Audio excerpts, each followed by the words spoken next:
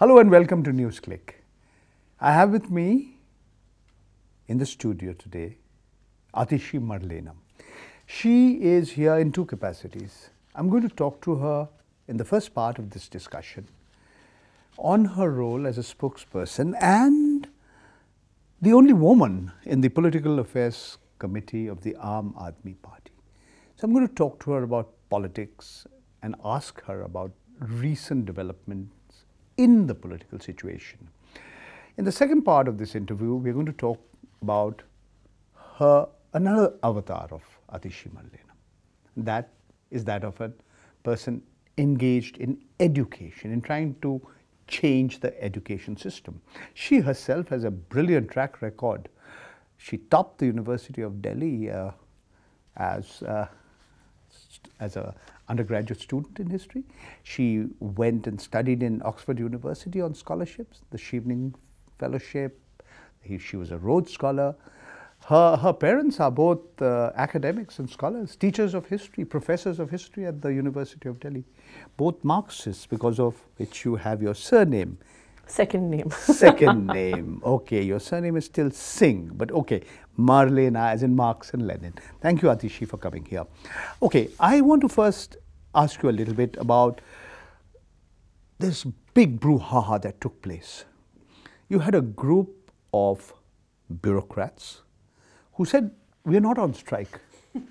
and you had the Chief Minister of Delhi, your leader, Arvind Kejriwal, saying they are on strike.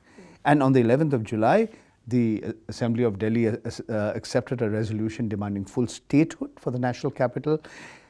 Arvind Kejriwal, together with the Deputy Chief Minister Manish Sisodia, uh, the Public Works Department Minister Satyendra Jain, the Labour Minister Gopal Rai, had this quote unquote dharna inside a room in the secretariat of the Lieutenant Governor Sri Anil Baijal. Every day it was making the news and what happened in the Bharatiya Janata Party, your political opponents then marched on to Mr. Kejriwal's residence. They said, Kejriwal, drama band karo. And then we had uh, uh, what seemed to me and to many others an orchestrated agitation which failed to serve any purpose. Would, would, you, would, you, would you agree with my interpretation? What purpose did this entire episode serve? I think to understand this, we need to understand that the strike by the IAS officers, and yes, it was a strike, because the IAS conduct rules themselves say that it's not just mass observance of leave that's a strike. Any pen down, any sit down, token, or even slow down uh, are also strikes. And the but IAS that officers. word is not used, correct me if I'm wrong. Strike, striking work. But uh, the IAS officers themselves admitted that they are not coming to ministers' meetings, that they are not following instructions by the ministers, that they are not answering their phone calls as per the democratic system in our country, if I still remember correctly, that policies and directions have to come from the elected government and it is the job of the bureaucrats to implement it. And the bureaucrats were openly saying that no, we are not going to listen to what the ministers say.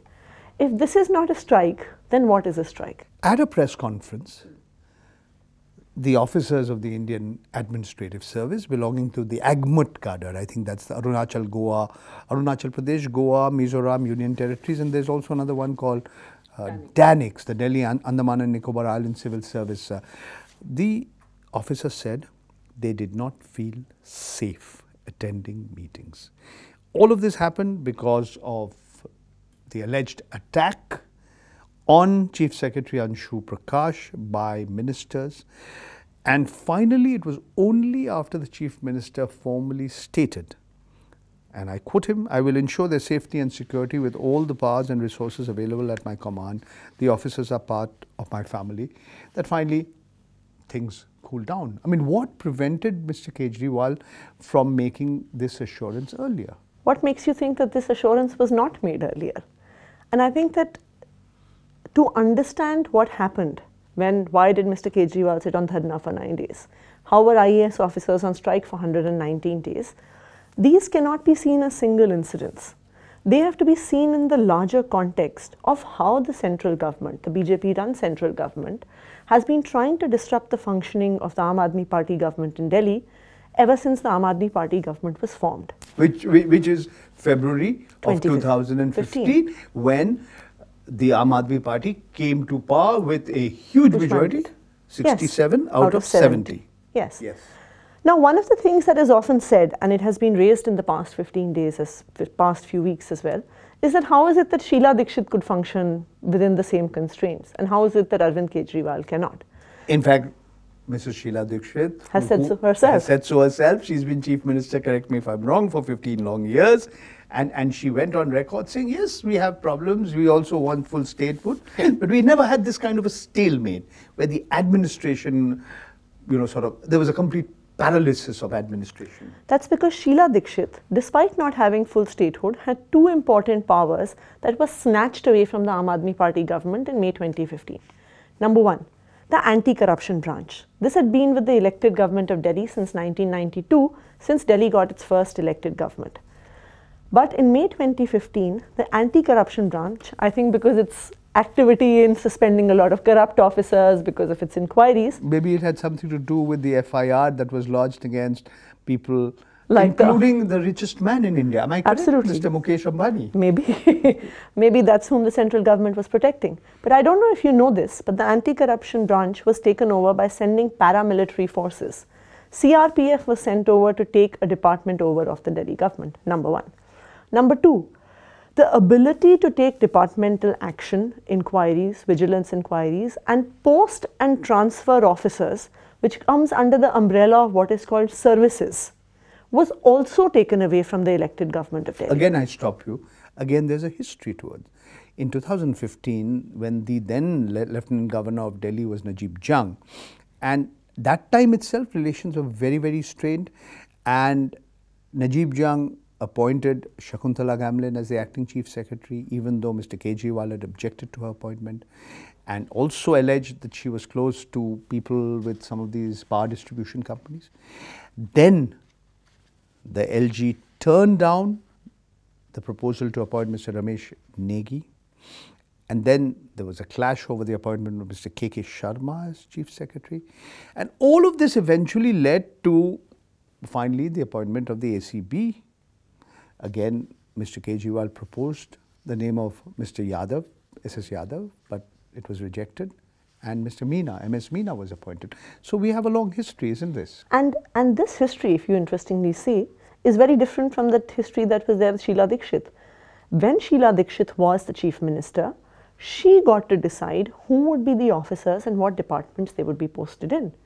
And once there was a dispute when Mr. Atal Bihari Vajpayee was the prime minister, when Sheila Dikshit wanted one officer as the chief secretary and the lieutenant governor another, and the prime minister said that it was the elected chief minister who should have her way. So the power So you are saying it's not just the ACB, but the power to appoint important bureaucrats. Yeah. Or even in case of any corruptions, to have any departmental inquiries against them. So now what you have is a situation in Delhi is that the bureaucracy in the Delhi government, which is supposed to implement the directions of the elected government of Delhi, is controlled entirely by the nominee of the central government, which is the LG. So we have now reached a situation in Delhi where the IAS officers are not listening to what the elected government is saying or following the, the directions of what the elected government is saying, but are at the beck and call of the lieutenant governor. People say the strain in the relationship between the Delhi government of the Aam Aadmi Party and the officers of the Indian Administrative Service has a longer history. I'll give you an example. In December 2015, the DANICS officers, Delhi Andaman Nicobar Islands and Civil Services officers, they went on a mass leave. Why? They objected to this plan of odd even the the the scheme to remove cars which had the last number one minute, one minute, one minute. But tell me. Tell me. No, but I- and and I have the following the following year also there was a resolution passed by the IAS and the DANICS officers saying they were being humiliated, and Mr. Kejriwal and Mr. Sisodia, they both you know said that they are being used by the Prime Minister, Mr. Narendra Modi, to target them. Mr. Kejriwal even described them as the B team of the BJP. Now that's also one way of you can say attacking them and describing them as the B team of the ruling party. See, what you need to understand is that this is not about a battle between the Aam Aadmi Party and any specific bureaucrats. As I said, this is a part of a much larger battle. Have you ever heard of any IAS officers, any government bureaucrats going on strike? They don't. They don't even go on strike for a day. A strike for 119 days, where IAS officers are issuing press releases, going on record saying that they are not They- attending they, ministers. They had a press conference at the press club. Absolutely. So the fact that IAS officers are going on strike and willingly and openly willing to declare that they have not attended a single minister's meeting for 119 days cannot happen without the support of the central government, who is their cadre controlling authority. So this is not about a battle between the elected government of Delhi and the bureaucracy. This is a much larger issue about how the central government has been trying to disrupt the work of the Aam Aadmi Party government. And it's not just in Delhi. You have to see how the central, the BJP run central government is using the office of the governor and the lieutenant governor in different states. You see exactly the same situation in Pondicherry, where the elected chief minister every few days keeps on saying, Who maybe has a specific love for Mr. Arvind Kejriwal. After all, she was also the chief ministerial candidate of the Bharatiya Janata Party for the Delhi elections. Yes, but it's not just here. You can see what happened in Karnataka. You can see how the office of the governor was misused. In Arunachal Pradesh, in Uttarakhand, where decisions regarding president's rule were finally struck down in One court. minute. Let's again take a step back. All right, let's stick to Delhi. Now, right through 2017, the relations between the bureaucracy and the Aam Party government have been steadily deteriorating. Why? Because according to the officers, the Aam Party MLAs have been demanding jail terms. Why? Drains have not been desilted. Okay, uh, so Ashwini Kumar, the Principal Secretary of the Public Works Department, uh, action is sought against him. The Chief Secretary, Mr. Kutty, refuses to start proceedings. That everything from metro work and you know uh, increasing Can I the ask you one fare thing? hike. You're, you're also a citizen of Delhi. Do you not want that before the monsoon season arrives, all drains in Delhi are desilted so that our roads don't get waterlogged? So when the PWD minister demands that drains are desilted, you see, there's an IAS officer cannot say, I will take six months for this. This desilting needs to happen before the monsoon starts. In fact, it's going to be our friends in the media if the desilting does not happen. It's the elected government who's going to be asked questions, as it should be in a democracy. But if the elected government has to function in the interests of the citizens of Delhi, then it has to have a bureaucracy that is willing to listen to it. If the drains do not get desilted, it is not that the PWD minister or the MLAs of Delhi are personally affected. It's the citizens of Delhi who have to bear the consequences of this. Okay, let's move on a little bit.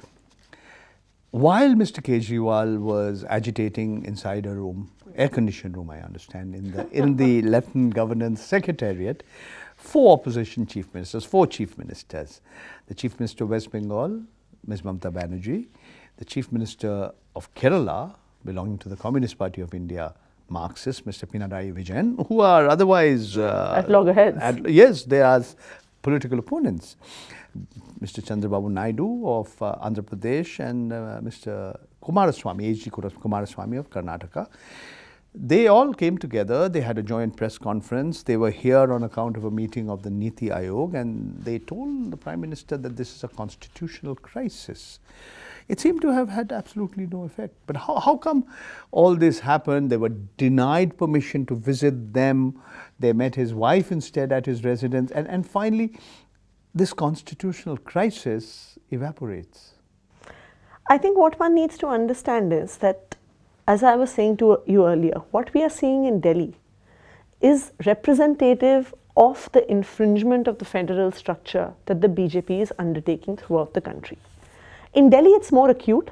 One, because the Aam Aadmi Party seems to rile the BJP more than all other parties. But number two, because the governance structure of Delhi allows the central government more interference. But one can see exactly the same pattern in Pondicherry with the lieutenant governor, as I shared earlier. One could see how in Karnataka the BJP was almost illegally asked to come and form the government. One can see how president's rule was imposed in Uttarakhand and Arunachal Pradesh, and it was the court that had to intervene.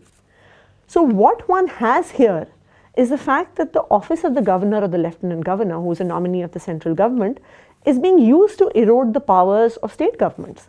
And I think that is the reason why these four chief ministers from four different political parties, none of whom are closely aligned to the Aam Aadmi Party. Some of them a little more, some of them a little less. Yes, Absolutely. But not just these four chief ministers, a number of regional parties, be it Mr. Akhilesh Yadav of the Samajwadi Party, Tejasvi Yadav of RJD, many regional parties came forward to actually support the Aam So, Aadmi so Party. you see this. as some sort of a personal vendetta being uh, unleashed by Prime Minister Narendra Modi. He still can't get over the fact that the same person who he described as a Maoist of sorts, uh, Urban Naxalite. urban Naxalite. Did he use that phrase? he used the word Naxalite. yes. Naxalite. Ah, Yes. Now you're adding urban Naxalite, no problem. The point is, uh, after February 2015, yeah, it's been like uh, more than three years, and he still hasn't got over the fact that in Delhi, the Bharatiya Janata Party suffered a humiliating defeat.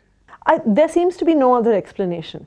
I think that uh, till the BJP fought elections in Delhi, from 2014 onwards, BJP was winning election after election. And I think it's only once they reached Delhi that we reached a point where the, the So the- Ashwamedh of the BJP was right, but then after that, Bihar happened, after that, Gujarat happened, after that, Karnataka happened, there were by elections in Rajasthan, Uttar Pradesh, etc.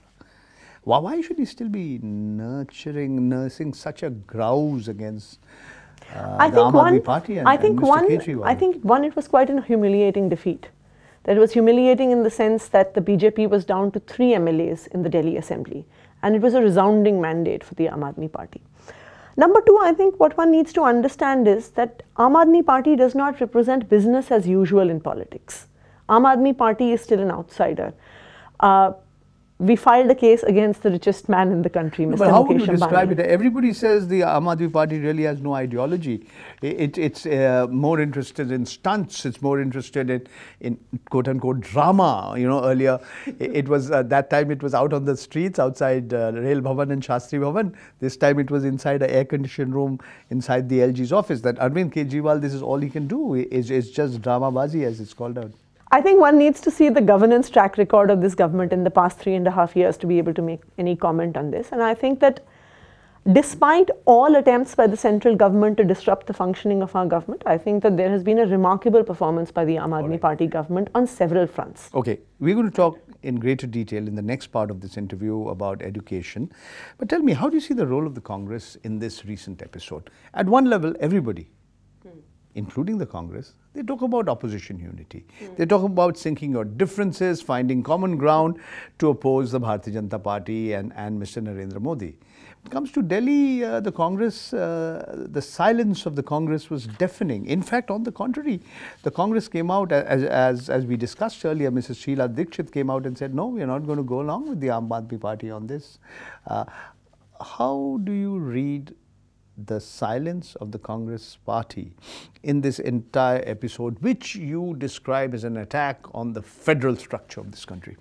I think if you see the Congress in Delhi, in Delhi the Congress and the BJP operate in symphony with each other. You can that see the, the Congress will deny. No, but I can give you multiple examples of this. In terms of stalling the work of the Aam Aadmi Party, Mr. Ajay Makan will file a complaint either with the ACB or with some organ of the central government. Based on that complaint, the LG will order an inquiry. And based on that inquiry, without the result of that inquiry coming out, that policy would be put to a halt. The Mohalla clinics were stopped precisely by this modus operandi. The CCTVs being installed in Delhi were stopped by that That's another operandi. story. People were very, uh, very unhappy with the CCTV in school story, but I'm, I'm going to come to that later. No, so I'm saying that One minute, one minute. you can see that this operation of the Congress and the BJP actually happens in harmony with each other. Atishi, there are local issues, there are national issues. Ms. Mamta Banerjee and Mr. Vijayan come together to on, on a special occasion. Now, I'm saying, what is this? I mean, where are the differences? Where are the areas of agreement? And uh, I mean, look at Delhi and, and look at national politics. I mean, you can say, let me draw an analogy which you may not like.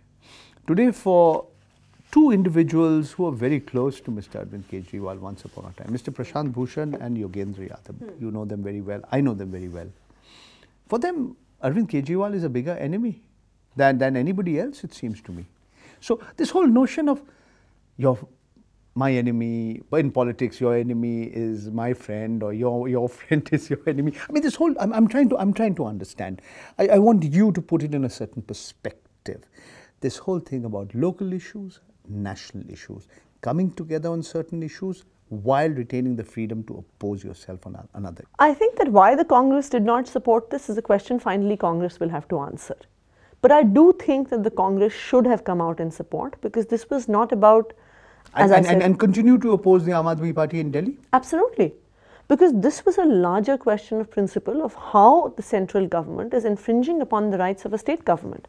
For example, at every instance, be it Goa, be it Manipur, be it Arunachal Pradesh, Uttarakhand, Karnataka, Aam Aadmi Party came out on the issue, opposed the, the role played by the central government, irrespective of the parties involved. And I believe that Congress should have done the same.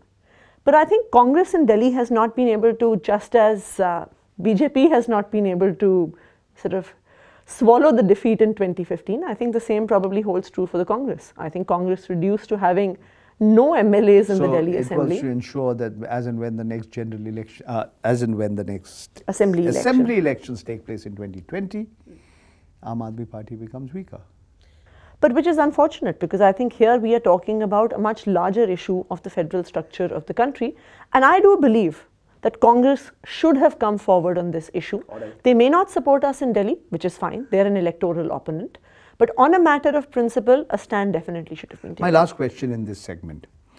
At the end of the day, the Aam Aadmi Party, whether we go back to the India Against Corruption movement and it morphing into a party, sometimes it appears to be its own enemy. I mean, you described the, the parting of ways with Prashant Bhushan, Yogendra Yadav, as like you said, it was like watching your parents getting divorced.